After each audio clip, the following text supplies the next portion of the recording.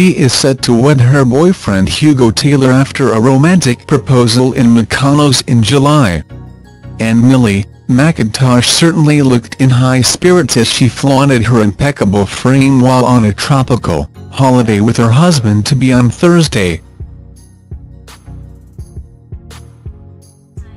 Without revealing the exact location of their getaway, the former Made in Chelsea star was pictured cooking up a storm in a quirky boomerang mini video as they enjoyed their winter break.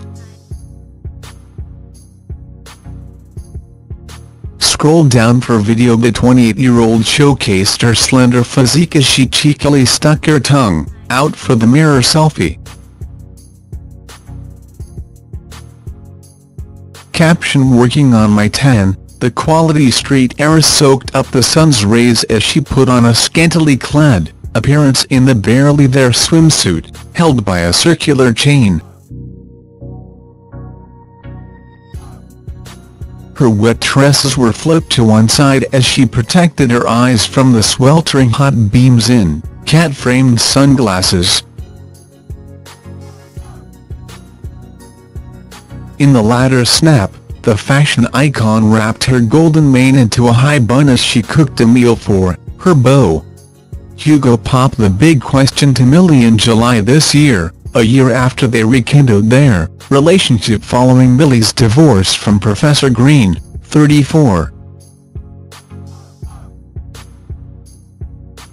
The fashionista gave a rare glimpse into her private romance when she gushed about her fiancé on the Ray D'Arcy Show, RTE in Dublin, Ireland last month.